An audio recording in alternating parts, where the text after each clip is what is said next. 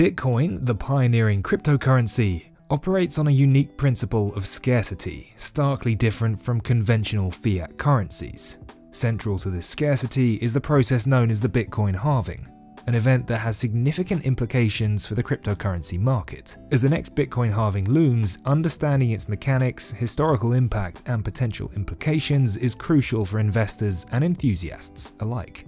At the core of the Bitcoin network is its decentralized system of transaction verification, otherwise known as Bitcoin mining. Miners compete to solve complex mathematical puzzles in exchange for rewards in the form of newly minted bitcoins. So, when a halving occurs roughly every four years, the reward for mining new blocks is reduced by half as you probably guessed. This systematic reduction in mining rewards serves to limit the total supply of Bitcoin, ultimately capping Bitcoin supply at 21 million. By design, halving events occur regularly, ensuring a gradual reduction in the rate of new Bitcoin issuance as opposed to a cliff edge.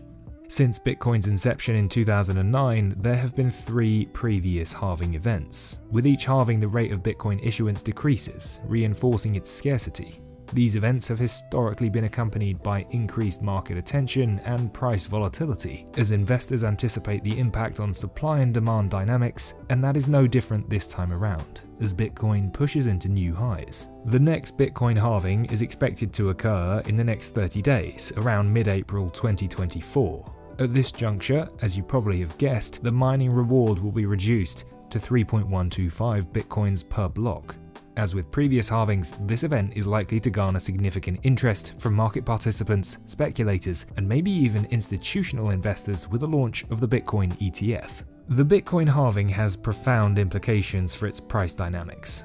The reduction in the rate of new Bitcoin issuance directly impacts its supply curve, with a fixed supply and assuming consistent or increasing demand, the decrease in supply often leads to price appreciation. The phenomenon underscores the fundamental economic principle of supply and demand, where reduced supply tends to increase the value of an asset. This, however, is quite interesting because the supply has been limited ever since Bitcoin was created. So even though halvings occur, anyone who knows and understands Bitcoin already knows that Bitcoin is limited to 21 million units. The increasing institutionalization of the cryptocurrency market adds another layer of complexity, particularly this time round. With the approval of the Bitcoin exchange traded funds, or Bitcoin ETFs, and growing interest from traditional financial institutions, the market's dynamics are evolving rapidly. Institutional investors with their substantial capital and risk management strategies play a pivotal role in shaping Bitcoin's price movements. As Bitcoin becomes increasingly integrated into traditional financial systems, its volatility may dampen, but its long-term potential as a store of value remains a subject of debate. The Bitcoin halving represents a fundamental aspect of the cryptocurrency's protocol, ensuring its scarcity and value proposition.